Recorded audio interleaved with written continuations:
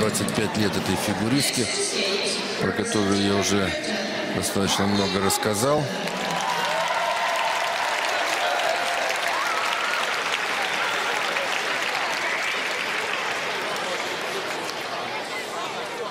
Впервые она стала чемпионкой Великобритании и завоевала право выступить после долгого перерыва на чемпионате Европы.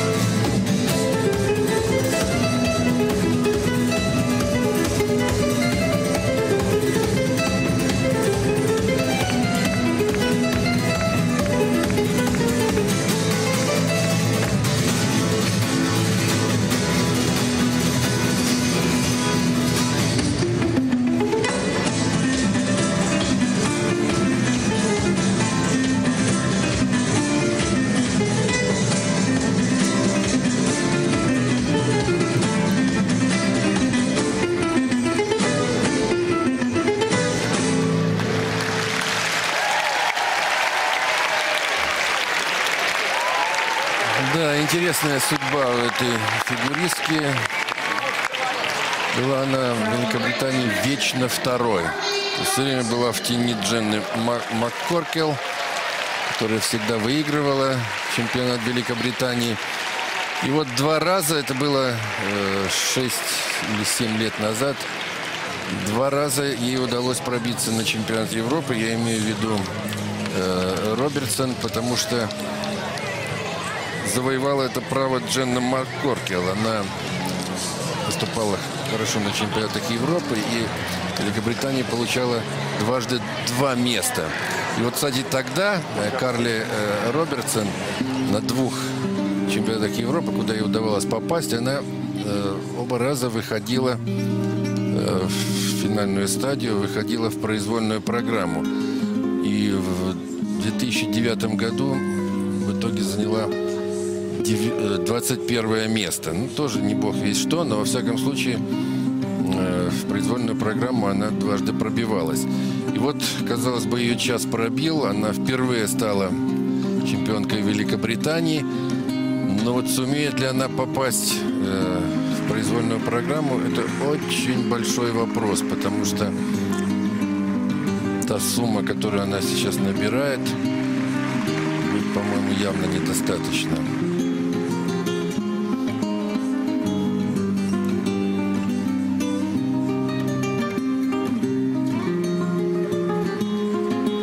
Робертсон у нас девятая участница. Сейчас Янина э, Макиенко из Беларуси будет завершать выступление фигуристок из второй разминки.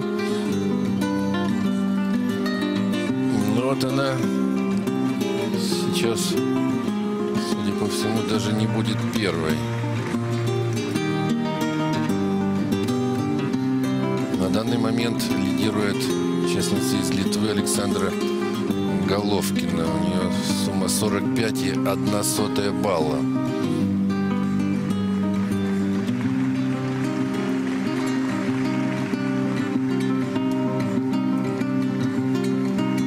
Вот англичанка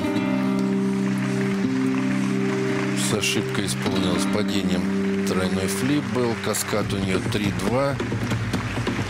Тоже выполненный не лучшим образом. Компоненты у нее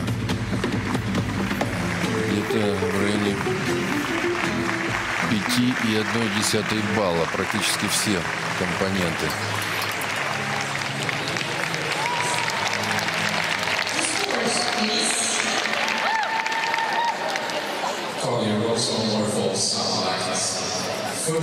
Так, оценка Робертсон 43,91 балла. Она только вторая. И шансы...